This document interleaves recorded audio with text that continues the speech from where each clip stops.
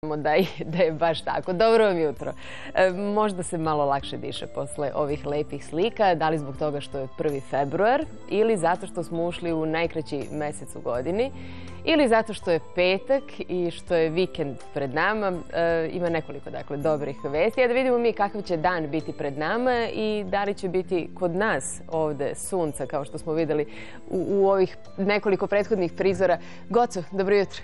Dobro jutro svima, dobro jutro Maj. Sala u kojima će se od 22. februara sve do 3. marta održati ovaj festival. Karte koštaju od 150 do 350 dinara, a samo za svečano otvaranje 500 dinara popust na komplete od 10% važiće do 7. februara. Na redu su naše uopšte radi kako bi se i privukle strane investicije, samim tim i novac koji, koji ste pomenuli.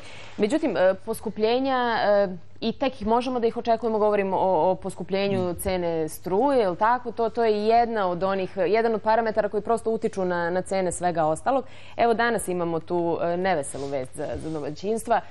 Može da da. Evo, mislim, Blic, pa Blic da. piše da. upravo o tome. Dakle, u jako tom momentu veći problem.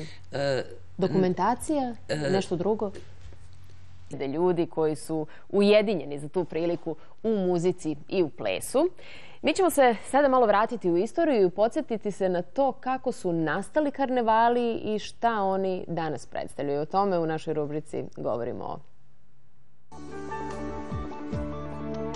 Dobro mi jutro i dobro nam došli i u nastavak e, jutarnjeg programa. Petak je, a ovog vikenda ćemo uživati u tenisu. Davis Cup, meč između reprezentacija Srbije i Belgije, počinje danas susretom Davida Gofana i Viktora Trojickog. Tako da ćemo videti da li su domaćini poslušali Novaka Đokovića i da li su popravili teren koji je po Đokovićevim rečima bio rizičan za igru.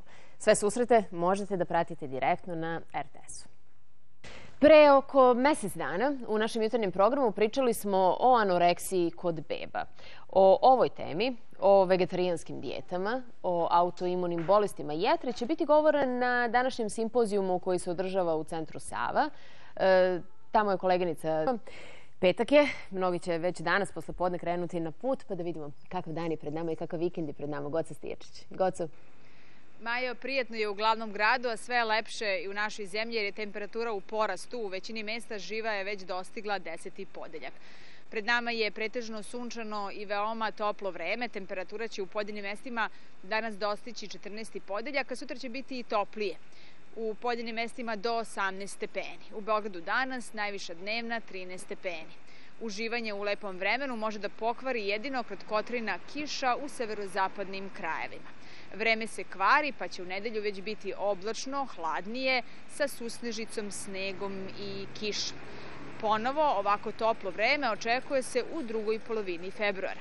Maja, toliko od ekipe jutarnjeg programa. Pozdrav tebi i gledalcima i želimo vam prijetan i lep dan.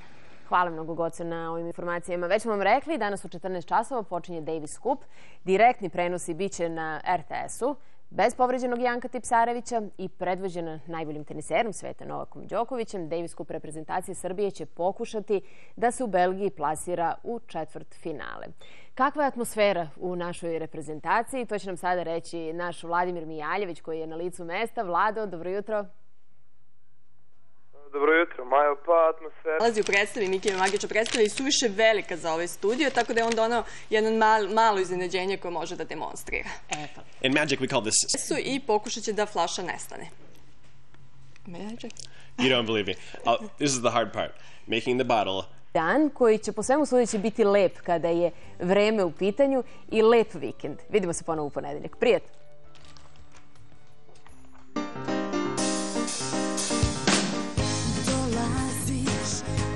Na moja vrata sa osmehom Što ti je vredan zlata Ko da sve je još u redu